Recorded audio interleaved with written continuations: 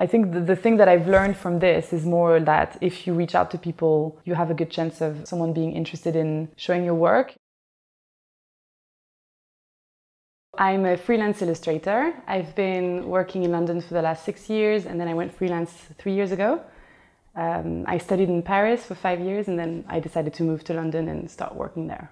Well, I always liked illustrations, but I didn't really know what I could do with it as a, as a job. I wasn't sure uh, what kind what kind of project I could do. Um, and then I did an internship in London with a guy called Andy Spencer, and I did a month there where I was working on some illustration for the London Transport Museum, and it was really fun. It was really cool, and there was really colorful pro project.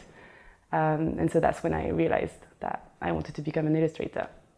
At the beginning, I actually, because I worked full time at an agency as an illustrator, and then I started, I knew I wanted to go freelance, but I wasn't ready. So I went part time with my job. So I was doing three days there and then two days freelancing. So that was a good sort of transition to start getting clients and, and getting some money in because it can be quite hard at the beginning. And then I was also working most of my weekends and evenings, so it was a bit intense. The transition was a bit difficult. I was spending a lot of my free time to do personal work and put my illustration style out there, but I wasn't getting necessarily the client at the beginning. So I really had to just put my work online all the time. So I was posting on my social media a lot, any sort of competition, any exhibition I could be a part of, I applied to be a part of it. And uh, I just sort of forced my work out there so that people would pick it up and then eventually I want to work with me. And uh, I also I also contacted a lot of agencies and brands and little creative studios that I liked, just saying, you know, hey, I'm here. And then, you know, a few of them re replied, and then I got a couple of projects from that as well. So that helped to get some client projects. And then when you have client projects, they refer to you or they you have more work to put on your portfolio, so you get more work out of that. Yeah, I think I had to sacrifice a lot of my free time because when I was still transitioning and still working part time at my um, agency, I just all my evenings and weekends were I was working on personal work all the time. It's kind of good because at that point I was a bit new in London and I didn't know as many people, so I had it didn't feel as much as a sacrifice as if it would now because now I really have like a life here and I always want to go out and do stuff. So it kind of happened at the at the right time. But yeah, I mean I had very little free time and obviously financially I was very tight.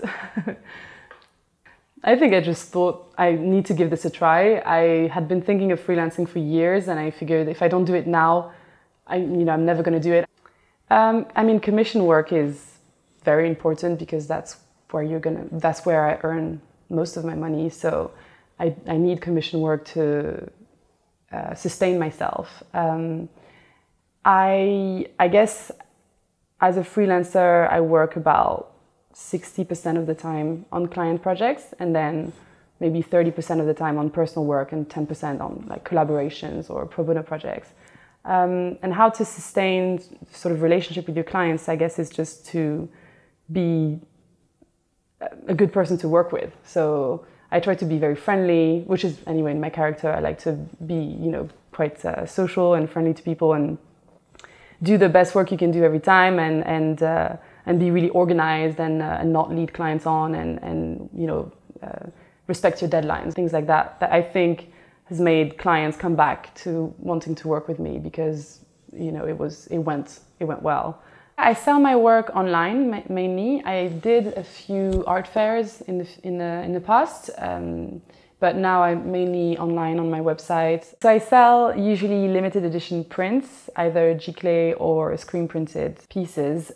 And then I also like to try different type of products that you can do. So I do pins and patches. I did socks, swimsuit, but that was just weird. it was very, uh, it was actually a much sexier cut than I thought. So when I tried it, it was quite embarrassing. Um, but yeah, so I tried to do different types of products with my illustration to see how it looks as different objects. It's quite natural. I mean, I will sometimes push a product if, for instance, it's like a, um, it's only going to be there for a certain amount of time. So sometimes I do t-shirt collaboration with Everpress and they have like a two week or a month deadline of how, you know, that's how long you have to um, buy the product. So for that, I'll try and push it on my Instagram using my stories. Um, I think it's worth pursuing having your product to be on sale because it's not so much financial because that's not that's a very minimum part of my income.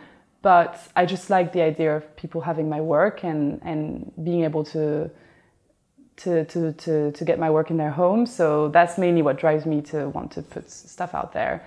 I, have done a few murals for clients before, um, but I've always wanted to do something for myself. And when I moved back to London and I moved to Shoreditch, there's obviously so many uh, murals and, and, illustrations that I wanted to, to do one for myself. And uh, a friend of mine lives on Redchurch Street and he had a black door. And so when uh, I got the okay from him, I just went and I did one myself.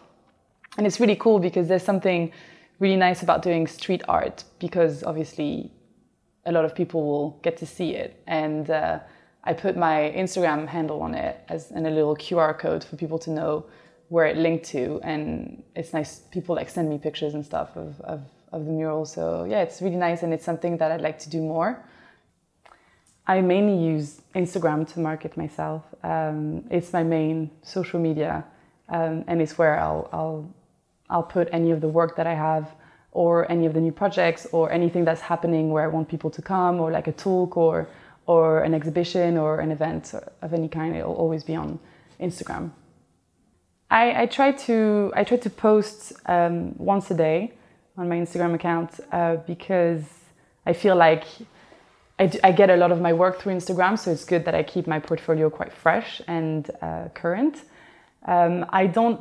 I, I guess I have a bit of a strategy in the sense that there are better times to post or better days, which I try to follow because it does make an, a, a, bit of a difference on the the reaching. Um, so yeah, I try to follow a few guidelines and and post as many times as I can so yeah, I have a couple of exhibitions coming up early 2019. I have a first one in Paris and then one at the Print Space. I wanted to try and have um, an exhibition both in London and Paris because I do feel like I'm a bit in between those two cities and the, the two countries. So I really wanted to try and combine two shows. Um, well, I'm still in the in the preparation phase, so I I think um, no, I guess mainly I think the, the thing that I've learned from this is more that if you reach out to people, you have a good chance of, of, of someone being interested in showing your work. And I would see all these artists doing solo shows, and I, you know, you, you, get quite overwhelmed about, oh, can I do it? Or I don't know anyone in the industry. And but actually, if you if you reach out to the the, peop- the right people, then you can get something. You can get something, and it's it's quite nice that people have faith in wanting to show your work and share their space.